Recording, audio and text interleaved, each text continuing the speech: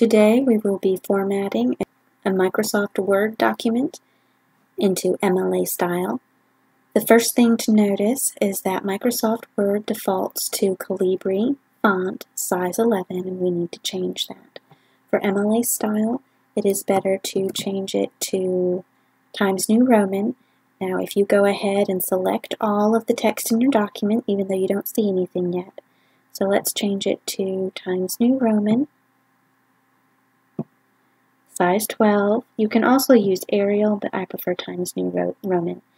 While your text is selected, come to the drop-down arrow at paragraph. We're going to change the spacing to double spaced. The spacing after should be zero, and line spacing should be double. You can set as default, and if you do a lot of MLA style, you can set it to all documents. Now in an MLA style formatted document, all of the information will be added right here on the left hand side of the first page, your name, your instructor's name, the class you're taking, and the date. Now in MLA style, you do not include a cover page. All of the information is summarized right here in the upper left-hand corner. So begin with your name and your instructor's name, the class you are taking,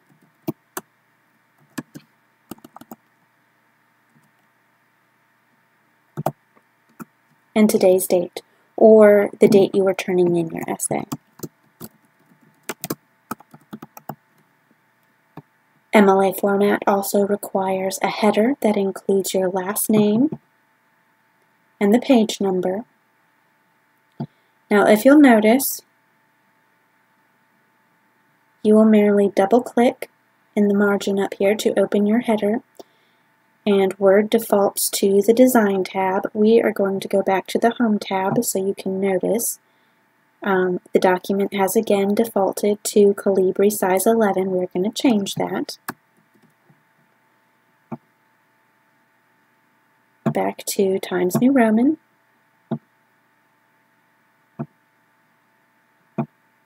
Size 12.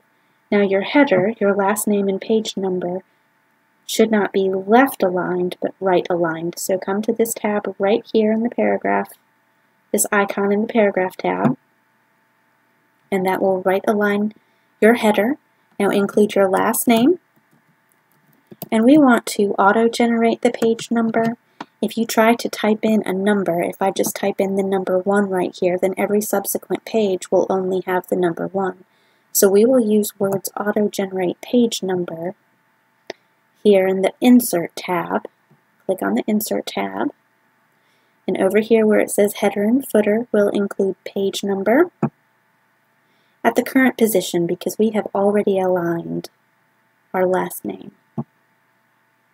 And now our page number will auto-generate on every page. So Word will include page 1, page 2, page 3, and we do not have to update the page numbers. Now double click back into your document. We ended on the date, so enter down one more to include your title. The title, back here at home, the title will be centered.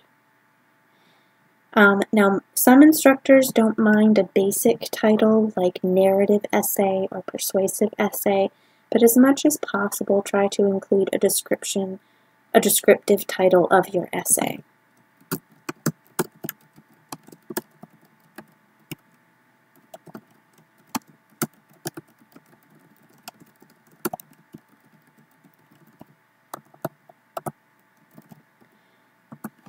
and we will change it back to left aligned.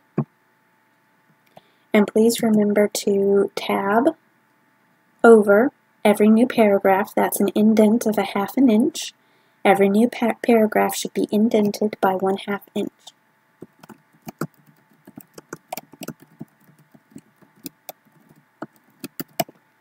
And that will be the beginning of your MLA style formatted essay.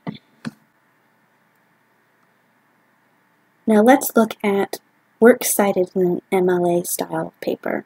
Let's page down a few pages and notice that Word has auto-generated our page number right here. Now Word has a great tool that we can use right here under References. We have a way to manage our sources that we will be including in our essay. We are using MLA style, however, so change APA to MLA. Now notice that in Word, at least my edition of Word, only goes up to the 7th edition of MLA. Um, the Modern Language Association updated their requirements in 2016, it, which is the 8th edition. Um, for the most part, it will not hinder your sources in Word. You just need to know which information is included. So let's click MLA 7th edition. Here at Manage Sources, we can include additional sources, anything that will appear on our Works Cited page. So click on that we are going to add a new source. Here in the type of source, you will select the type of source that you are using, whether it's a book, journal article, website, um, electronic source. You can scroll down and look at all of the sources that are included, but for this example, we are going to use the book as, as the source, the type of source. Now remember that all of the information listed here is the information that is required through MLA prior to the 8th edition, so we will not fill in information for all of these spaces right here. We do, however, need an author. It is important in MLA style to include an author, so we are going to use our author.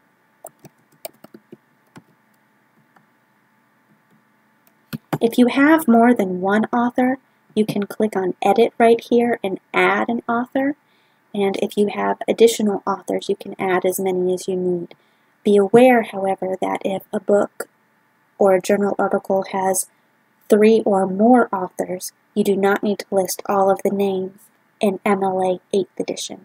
You only need to, to list the first name and then include et al. after it. So if you had three or more authors, you could include the first name on the Create Source page and then et al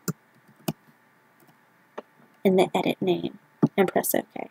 However, our source does not have that. So we will delete that. The title of the book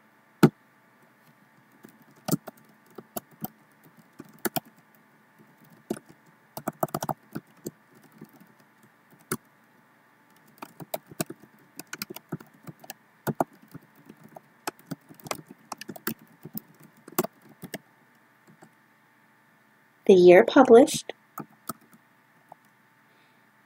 and in the 8th edition, you only need to include the publisher. You do not need to include the city name where the publisher is located.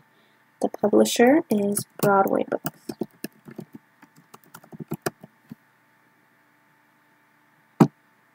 So we have included our source right here, the preview We'll show you what it looks like. Brooks, comma, Max, the Zombie Survival Guide, in italics, Broadway Books, comma, 2003. In the 8th edition, you do not need to specify that it's a print source. Now look here at the preview in-text citation. Brooks.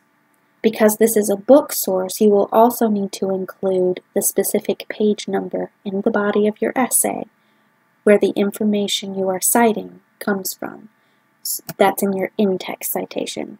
Your works cited entry looks just like this, and that is correct. So we will press close. Now up here at bibliography, Word will auto-generate your works cited page based on the sources that you have entered into, into Manage Sources right here. And for MLA style, we want Works Cited right here. You can click on Works Cited and Word auto-generates Works Cited and all of the sources that you have included.